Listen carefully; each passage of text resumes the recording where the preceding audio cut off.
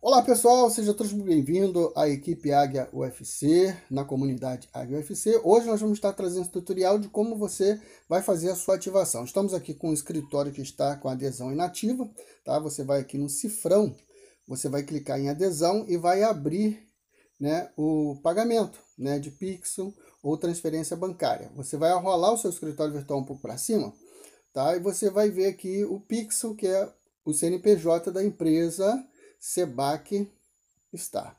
Tá? Você vai copiar, vai colar lá no seu é, aplicativo de banco e vai fazer o pagamento via Pix. Vai aparecer o nome do CNPJ da empresa, tá? Você confere direitinho e faz seu pagamento. O valor é R$ 36,00.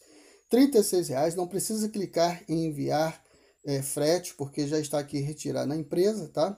É, não precisa mais clicar em nada, é só você fazer lá o pagamento R$ 36,00.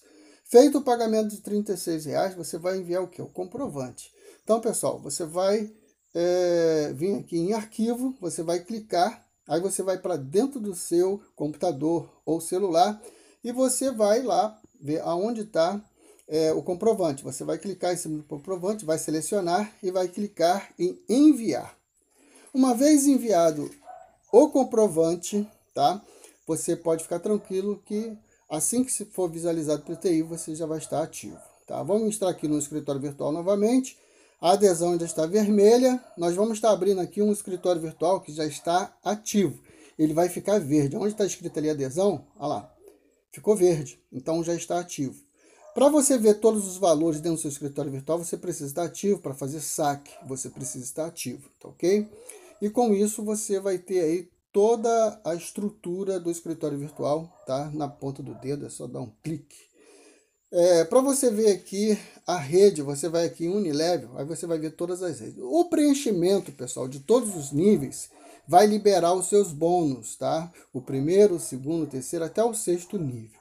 Isso é muito interessante para que você entenda que se você ficar inativo, tá? Você não vai ver os valores e o sistema de supressão em 30 dias vai excluir sua conta. Então, faça seu cadastro, faça sua ativação e seja bem-vindo à Sebac Star.